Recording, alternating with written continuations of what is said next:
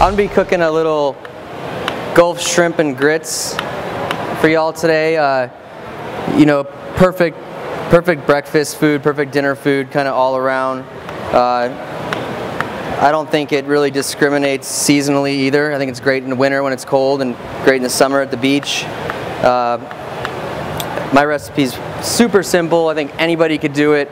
Uh, might come out a little different each time, but it's delicious and uh, we'll get to it. Uh, some of the tricks to it, obviously the, the fresher the shrimp, the better. And here we have some uh, real, pretty, pretty large uh, Gulf brown shrimp. You can really tell uh, freshness or quality if they still have that uh, kind of greenish blue color in the tail. You can tell it's high quality and of course just by looking at them, if they look pretty, they're usually going to be good. And if they don't look pretty, they're usually not going to be good. so this dish starts out with uh, some bacon. I use an applewood smoked bacon. Bacon's important in this dish because it's what gives it that kind of smoky, you know, smoky broth to go along with the with the sweet shrimp. And we're just going to let that bacon render. You want to render it till it's golden brown and basically no, no more fats coming out of the bacon. It's all in the pan at that, at that point. Meanwhile, I just have a regular whole garlic clove here, and for the recipe, I like to slice it kind of like uh, like they talk about in the what is that, Goodfellas or The Godfather, real thin, like a like you're slicing it with a razor blade. And then back here, I have my grits that I already started. I started them because they, they, take quite a while. And uh, the proper amount of liquid for the grits, which is about two and a half or three to one. And I like to use half milk, just uh, whole milk, and half water, and a nice amount of butter. And I start that liquid, bring it up to a boil, add my grits. And uh, these grits take about 30 minutes to 45 minutes to cook.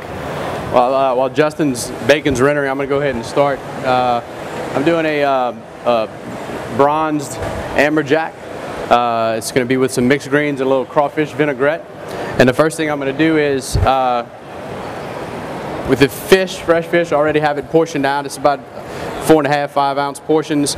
I'm going to put it on a um, paper towel, dry it off a little bit. It's important that any of seafood that you have is, is really dry. You get a, if you want a, a crust on it when you're, after you have it seasoned uh, it makes it, it makes a huge difference if you're working with a dry product. So I'm going to dry all this off real good.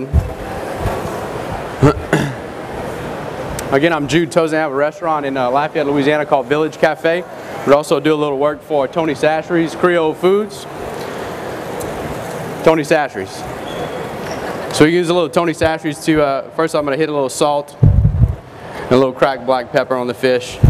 And then uh, bronzing is just, uh, I call it bronzing instead of blackening. It's just a, a, little bit of seasoning on the outside, not so much, and we're just going to get a little bronze color on it rather than a, than a, a black uh, char. So I season one side, I'm going to season the other. My pan is, uh, is already hot, and I actually preheated the oven uh, to about 400 degrees, and we're going to start this in the pan and then finish it off in the oven.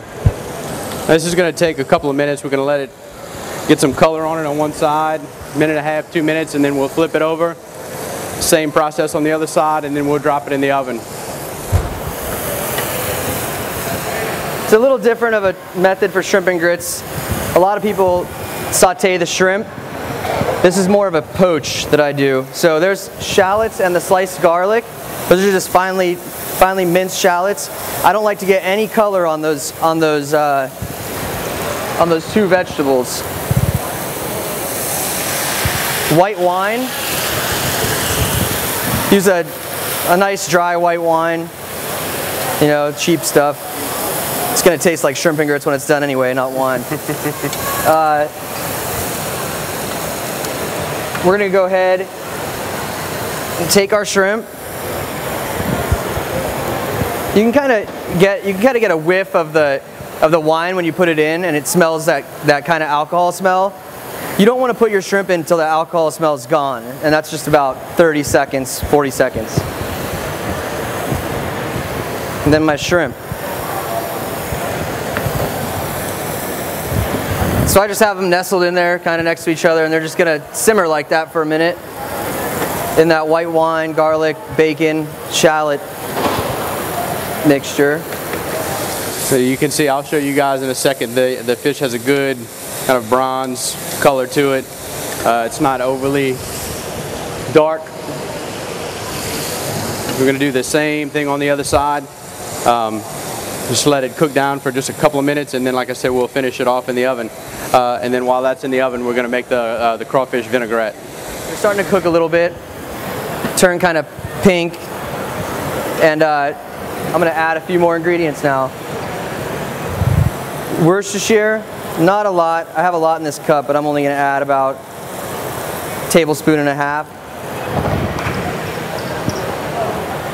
Lemon juice, freshly squeezed about another tablespoon and a half. Shiitake mushrooms, these have been roasted, just kind of uh, sauteed in oil and then a little bit of butter thrown in and then finished in the oven for, for about 10 minutes.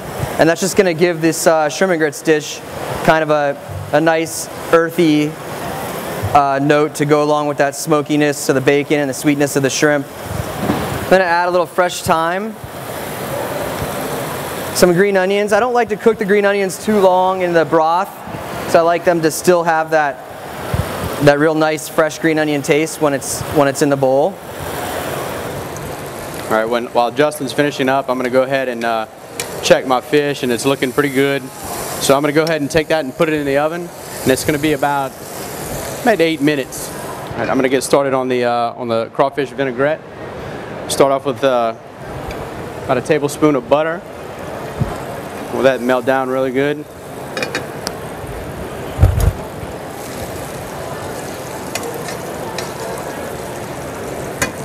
I have some uh, fresh Louisiana crawfish. We're going to put that down in there. Just want to saute these up a little bit uh, just to, to get them warm through. And then I'll finish off with the, the remainder of the ingredients. All right, I'm going to season uh, the crawfish here with a little bit of the Tony Chachere's. This is more spice, less salt. Um, I have two different types of vinegar. This is just a, a, a rice wine vinegar.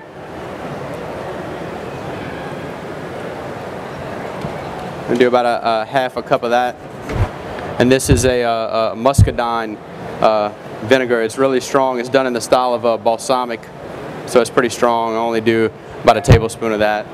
All right, so I'm going to start to slowly add a little bit of olive oil to this. I'm going to go ahead and uh, plate up the shrimp and grits.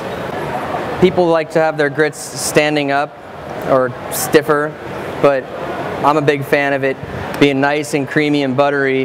That way it kind of works as a, uh, almost like part of the sauce where you can kind of drag that shrimp through it and pick up some grits. Um, I mean, you could even mess around with this recipe and fold in some mascarpone or goat cheese or whatever you'd like, white cheddar. So there's your nice little uh, presentation of shrimp and grits. We start off with a little, uh, little bit of mixed greens. It's come from a, uh, a local farm from uh, Opelousas. I'm to take a little bit of this piece of this amberjack, just put it right on, on there.